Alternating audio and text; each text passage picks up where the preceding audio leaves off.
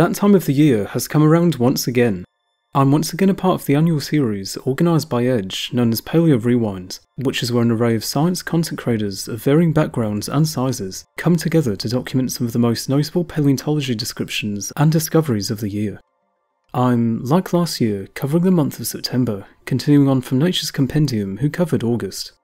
After each creator involved has uploaded their video leading up to December 31st, a compilation video of all of the parts leading up to then will be uploaded on Edge's channel, so be sure to be on the lookout for that.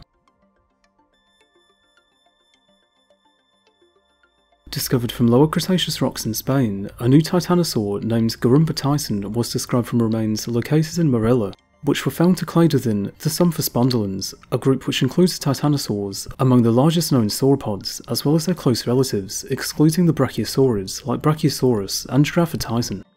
One of the more basal members of the group, this new genus is known from good remains, with three individuals being known of, with two complete and articulated feet being found, which is very rare in the geologic record.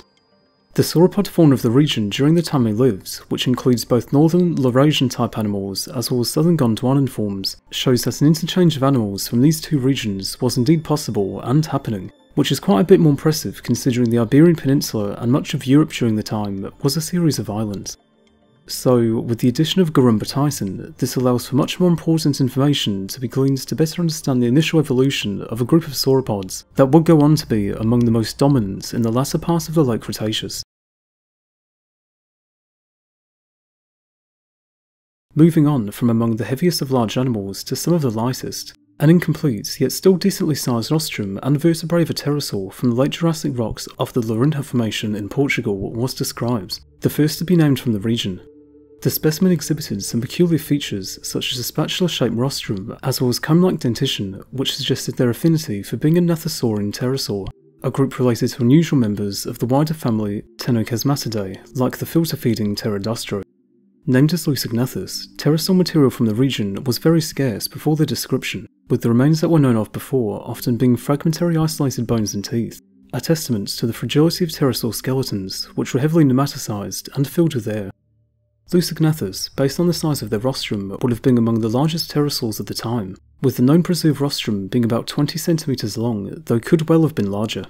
Through scaling the specimen of Lusognathus to Gnathosaurus, the total length of Lusognathus's skull would be a good 60 centimeters long, with them then having an extrapolated wingspan of about 3.6 meters at a minimum.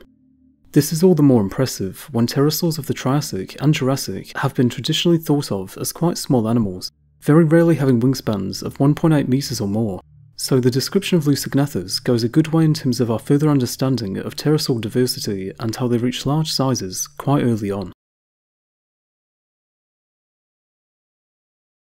Pampaphoneus biccai, a large Dinocephalian therapsid that lived in what is now Brazil during the Permian periods around 250 million years ago, were a group of animals with both carnivorous and herbivorous representatives, which were among the most diverse of large terrestrial animals when they were alive.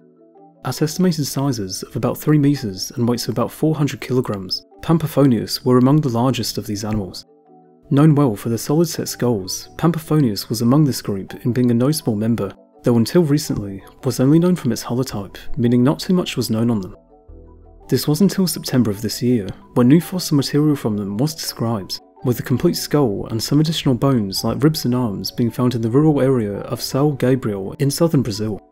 This find is very important, as this skull is the second ever to be discovered from the genus, with it also being larger than the holotype, now thought to be a subadult animal, revealing unique information on their growth and morphology due to the great preservation. It was previously hard to differentiate them from their European relatives, so the more that's known from them allows for more about their proportions and overall evolutionary relationships with other Dinocephalians to be understood. The early phases of birds transitioning from non-avialan theropod dinosaurs is quite unclear, owing to the very sparse fossil record of the time periods when this was all occurring, namely the late Jurassic. Thankfully, one new find represents one of the youngest and also among the most southernmost Jurassic avialans. Named as Fujianvenator from the Tithonian age of China, this specimen exhibits a range of unusual features that are shared with other stem avialans, troodontids, and dromaeosaurs, showing a good degree of overlap. Fujianvenator is distinct from all other Mesozoic avialan and non-avialan theropods in having a particularly elongated hind limb, suggestive of a terrestrial or wading lifestyle, which is in contrast with other early avialans, which exhibit more clear adaptations to arboreal or aerial environments. This is down to their lower hind limb, their tibia, being twice as long as their femur, which is a previously unknown arrangement seen in these types of animals. To conclude this video, I'll be leaving off on a recent paper which talks about trilobites, a very well known group which is known for more than 20,000 species, with them filling an exceptional array of lifestyles, from burrowers to a planktonic life in the water column. Their inferred niches range from being detritivores to active predators, though this has all been based on indirect evidence such as body and gut morphology, as well as attributed feeding traces. No trilobite specimen has ever been found with direct internal contents before, that is at least, until now. This right here is Bohemolichas incola, a rather neat trilobite that lived during the Ordovician period, and preserved a three-dimensionally intact digestive system and is complete with food too. This specimen provides by far the most detailed source of information to date concerning the diets and feeding mode of their group, with their last meal being identified and the researchers who described them remarking that they were absolutely stuffed. The gut comprises mostly fragmented calcareous shells, which along with their lack of dissolution indicates that a neutral or alkaline environment was present along the length of their intestine, which shows that their digestive enzymes were very comparable to living crustaceans and chelicerates. This digestive physiology therefore seems primitive to arthropods as a whole, with Bohemolichas seeming more like a scavenger than an active hunter based on what's been found in their fossilised digestive system. Something that was noted was that the carapace of the trilobites was slightly disturbed in how it was organised, which suggested that the trilobite was in the process of molting before it ended up being buried and fossilised, with living arthropods sometimes using the technique of puffing themselves up to better crack their old exoskeleton so that they can better grow out of it. Another interesting observation that was noted was that the fossil trilobites also showed evidence of burrowing by other scavenging invertebrates, with them trying to get at the trilobite's soft tissue before they were buried, seemingly stopping short when getting to their guts.